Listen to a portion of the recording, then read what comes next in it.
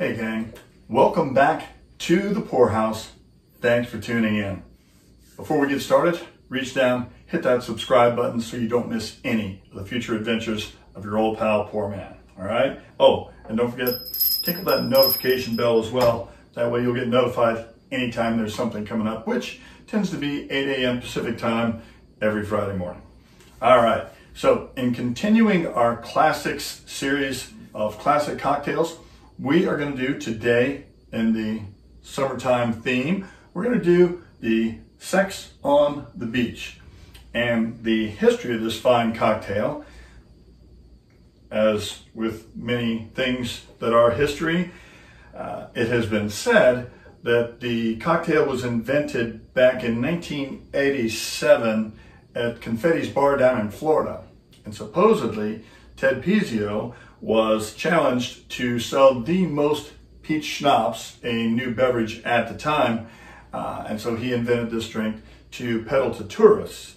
However, we do have a few examples of the cocktail being in recipe books as early as 1982. basically, they were just combining a fuzzy navel and a Cape Cod. Either way, we're moving on from history and we're moving on to right now and I'm to show you how to make this tasty beverage. Very easy. We use the exact amount of ingredients. Um, each, each one of these gets the exact same amount. And normally, normally this is done as a shooter, but you can also do it as a cocktail. We're gonna do it both ways today because that's how your old pal works. So we're gonna take and start with two ounces of our old pal infused and their base vodka. As always with me, I have to make some changes.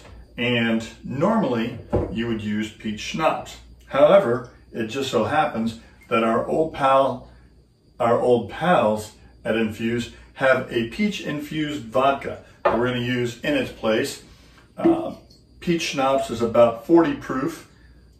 Our peach vodka is about 80 proof.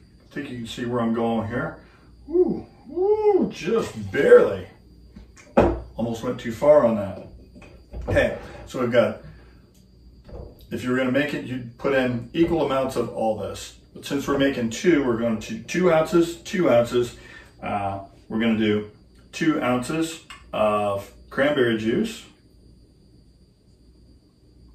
We're gonna do two ounces of orange juice.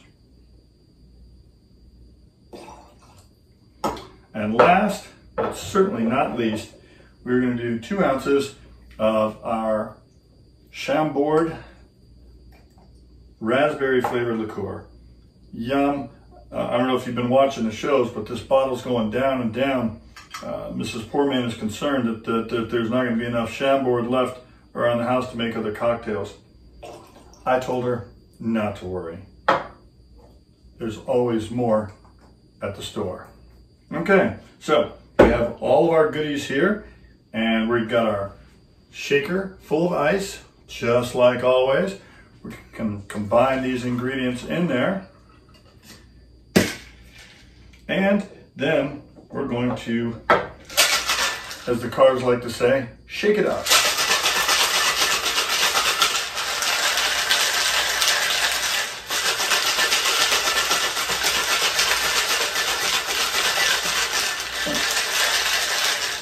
Give it a good shake.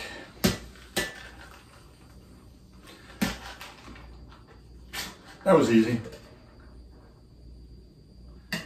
And then we are literally just going to strain this and we're going to do a shooter and we're going to do a full cocktail.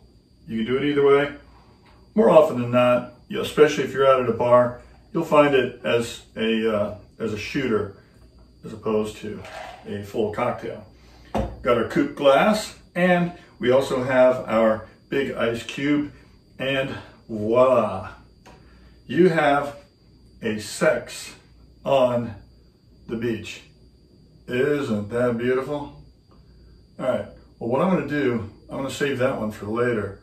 And what I'm gonna do right now, just for you, we're gonna go ahead and taste it this way Sex on the beach, your old pal PourMan, taking one for the team.